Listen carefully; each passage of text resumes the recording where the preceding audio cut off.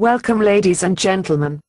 This is Karen Sharp with another session in our series of discussions on the study of racialism with Professor Randolph Hemmings. Good afternoon Professor. I am sure that the viewers are looking forward to today's topic. Thank you Karen. I'm glad to be here.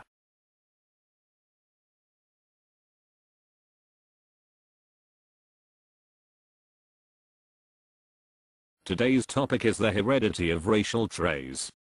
Several years ago I asked a state park historian why African Americans never assimilated. Every group that came to America in the 19th century was initially seen as a non-white race. But after a few generations, their descendants intermarried. Germans, Irish, Italians, and Jews were no longer seen as non-white. Instead, each became accepted as just another white ethnicity. And I wondered out loud why this had not happened to African Americans. Why they continued to be seen as a distinct race.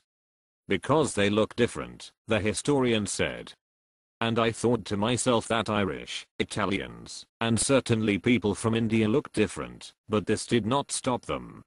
I then noticed four children playing in the park grass. They were siblings, the children of friends. Both of their parents are of mixed ancestry. Each parent in turn has one white parent and one black parent, but they identify as members of the African American community. The two older children are quite dark, taking after their black grandparents. The two younger look completely European, the perennial family joke is that the older two children used up all of the family melanin, leaving none for their younger siblings. And so I thought to myself, it is simply not true that everyone born into the African American community looks different. Some people assume that the physical traits associated with the US color line blend in some non-Mendelian way they assume that children cannot come out looking more European than both parents, nor more African than both. They assume that endogamous populations become ever more homogeneously blended over generations. All three assumptions are mistaken. This photo is of a friend, Charles E. Byrd and his mum. Charles was one of the leaders of the political movement of the 1990s to add a multiracial checkbox to the US Census. He was also the publisher of Interracial Voice magazine, and has published two books on multiracialism. It is true that the child of a Nordic-looking parent and a Nigerian-looking spouse will be of in-between appearance. But a child of two such in-between looking individuals can appear anywhere along the range, from one extreme to the other. Parents of mixed intermediate Afro-European genetic admixture often produce white-looking or black-looking children. This is the late Eartha Kitt, her daughter, and her granddaughter. One fourth, one half, one fourth. A child of mixed parents has a 50-50 chance of showing color line related features midway between those of the parents, a 1 in 4 chance that it will look more European than either parent, and a 1-4th chance that it will look more African. This is Boris Becker's wife and child. But precisely what do we mean when we say that someone looks black? The very same individual may be considered white in Puerto Rico, colored in Jamaica, and Negro in Georgia. Forensic anthropologists today give more importance to prognathism than to other traits, and 19th century Americans emphasized foot shape. So today's topic looks at a single feature, skin tone. Nevertheless, keep three things in mind. First, many societies, Hindu India for example, do not associate skin tone with an endogamous barrier. We focus on skin tone because it is important to most Americans, hence the term color line, and the group labels black and white, corresponding to brown versus pinkish beige skin tone. Second, skin tone is mechanically complex. Some people are darker than others before tanning, some tan more easily, some tan more deeply, and some tans last longer than others. Despite its complexity, dermal melanization depends on just a few genes. Finally, the following applies to any feature that depends on a handful of codominant additive genes, such as hair curliness, nose width, lip thickness, prognathism, steatopygia, and the like. It applies to all of the physical traits that Americans see as looking white or looking black. Not just skin tone. By the way, the young man on the right is James Earl Jones's son. Alleles do not blend. They are digitally encoded, not analog. The human genome contains about 750 megabytes of data. Because they are digitally encoded, alleles combine in simple, mathematically predictable ways. Imagine that skin tone depended on just one gene with two possible values, rather than the actual 326 genes. Someone with two black copies would look Nigerian. Two white would look Norwegian. And black white, or white black, would look Arabic or Puerto Rican. Now imagine that a black-white father and a black-white mother have a child. What are the chances that the child will have two black alleles, two white, or one of each? Work it out. It is the same as flipping two pennies and getting two heads, one of each, or two tails. One fourth, one half, one fourth. The photo shows twin girls. One is lighter than both parents and the other is darker. The chances of such siblings happening to any mixed couple are 1 fourth times 1 fourth, or 1 in 16. Incredibly, hundreds of genetically illiterate newspapers reported this photo as a 1 in a million chance. As every Dominican and Brazilian family well knows, it happens all the time. One fourth, one half, one fourth. It makes no difference how many additive genes affect skin tone. There are at least three, and probably no more than six. But the number of genes affects only the smoothness of the probability distribution. The upper left chart shows what the chances would be with just one gene. Upper right shows two genes. And lower left and right show the distributions for three and four genes respectively. The probability does not depend on number of genes, nor even on the species of organism.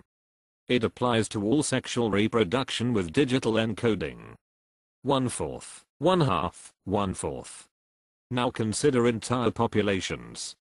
Mere random probabilities for individual families become predictable distributions when you look at entire populations.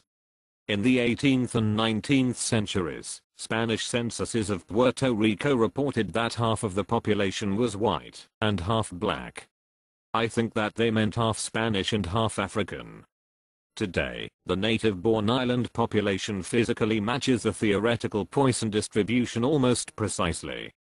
About 1 Puerto Rican in 10 looks white to most Americans, about 1 in 10 looks black, and the rest look in between.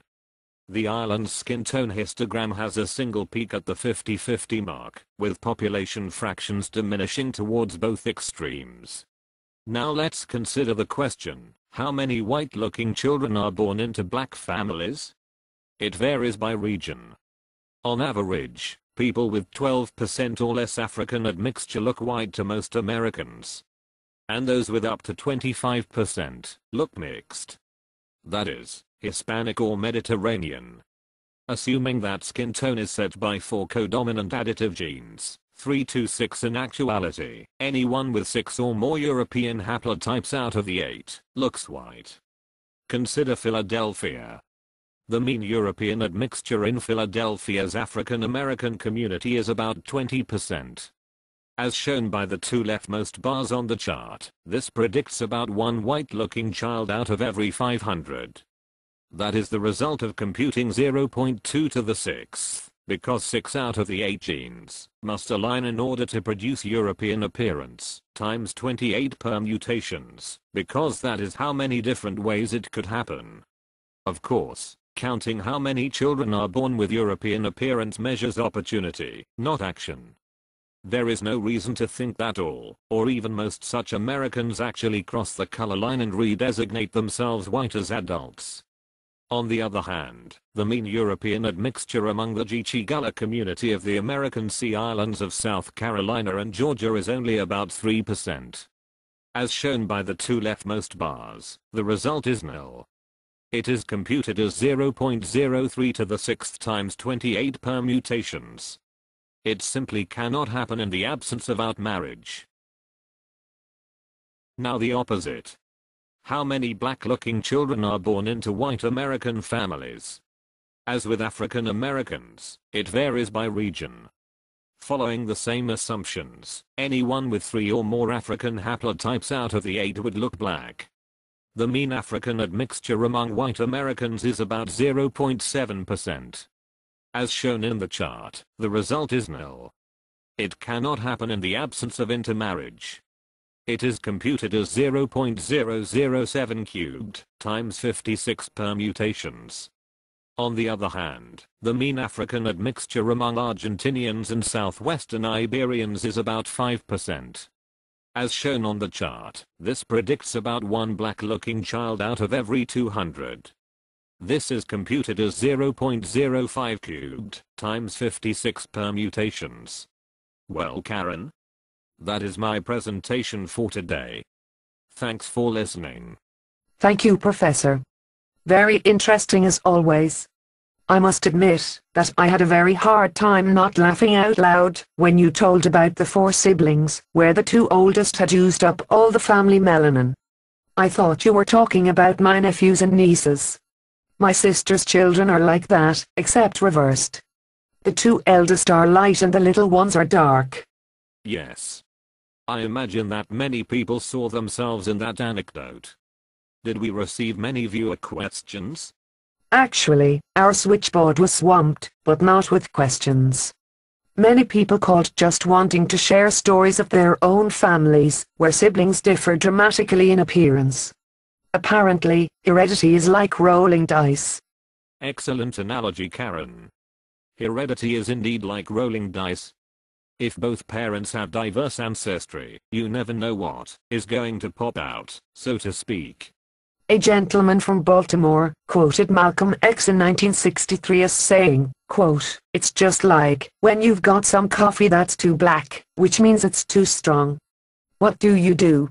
You integrate it with cream, you make it weak. But if you pour too much cream in it, you won't even know you ever had coffee. It used to be hot, it becomes cool. It used to be strong, it becomes weak. It used to wake you up, now it puts you to sleep end quote. Well Karen. Whatever his political skills, Malcolm X was naive as to genetics. For humans versus coffee, if you mix together two cups of creamed coffee, the offspring can be pure coffee, pure cream, or anything in between. That is probably the most important lesson to take from today's topic. Children of multiracial parents can come out lighter than both parents, darker than both parents, or anywhere in between. The second most important lesson today is the probabilities themselves. One fourth, one half, one fourth. Our last question is from a Londoner of West Indian ancestry. Why do you bother to study this? You seem to be obsessed with race. Would it not be better to just leave it alone? I understand the person's concern. It shows an important difference between British and Americans. West Indian or African immigrant outmarriage into the white mainstream runs about 38% in the UK, but it is one-tenth of that in America. Consequently, the British tend to be more comfortable with the topic. And many are already familiar with much of what we talked about because they have friends or relatives with children of mixed ancestry. So, to them, the topic seems overblown and pointless. But most American viewers are uncomfortable with open discussion of a taboo subject. Consequently, many are ignorant of heredity. I have heard Americans affirm, in all seriousness, that a white woman can give birth to a black baby, if her husband is black for example. But that it is a genetic impossibility for a black woman to give birth to a white baby, they are shocked to learn the facts. And so, to answer the question, this topic is more useful in America than in the UK. Thank you, Professor. Well, folks, that's all the time we have today. Next week, Professor Randolph Hemmings will discuss Melungeons, Redbones, and other U.S. Maroons, the triracial communities of the American South. This is Karen Sharp, signing off.